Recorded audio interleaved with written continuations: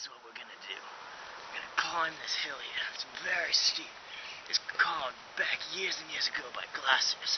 We're gonna climb up. and There's a big willow tree up there. It has lots and lots of ants. Ants are rich in vitamins.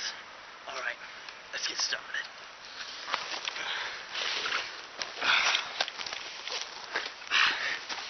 It's quite a climb here. There's lots of stuff. Whoa! Alright. Climb this hill here. There's nothing like this in the army.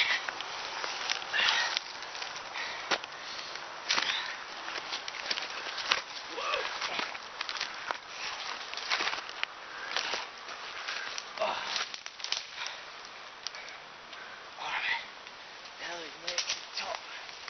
Come on, check this tree here. These trees are rich. Lots, lots of ants. Alright. Let me get a get a good view for you. We gotta climb this tree here. Very big tree. Branches don't like to cooperate with me too well. Well, lots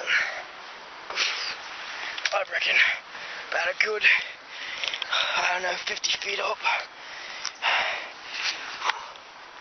Alright.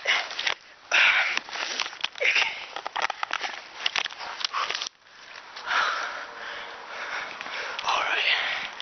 See that there? This is where the love to hide. To hide up here. In these woods. Alright. Alright, as you can see, we're about a good, alright, who knows, halfway up the tree, got lots and lots of water around us. If we fall, mm, pretty much death.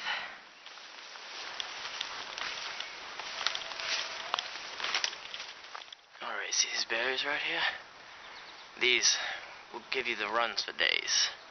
They look delicious, and especially when you're in a, a situation where you don't have food. But do not eat the red of you think the runs were the worst of it, but the worst part is you die about shortly after because of the dehydration, all the diarrhea.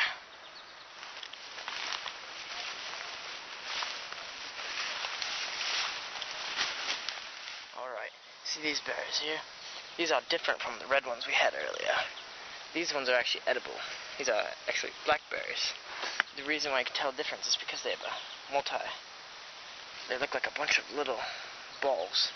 And you can tell that they're the good ones because the branches have thorns and they're very, very sharp. They actually drew blood of me earlier. But you can actually eat these, so. They're very rich in vitamins and protein. See out here in the jungle, it's very, very humid. And there's water sources around. But, as we all know, the water, there's creatures lurking in it, like leeches and things that you would not necessarily want to drink. So we're going to fill this water bottle up with urine, and it can be used for two things. Hydration, only once, because the second time, all the water has been used up. But, not only that, it can be used for heat. So, I'm going to fill this up with my urine.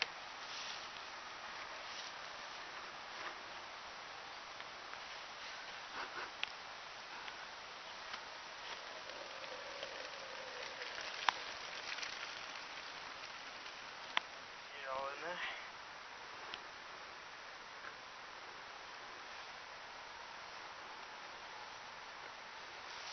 As you can see, it's very warm, warm to the touch. Could almost drink it. But you don't want to drink it till it's put it underneath your armpits. And the armpits are very sensitive skin. You can actually keep yourself warm by doing this.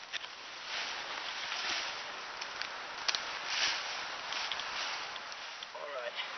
We're gonna climb across this tree here. Gotta get across the other side. Gotta get yourself some food up there. This technique that I'm using right now is called the shimmy technique.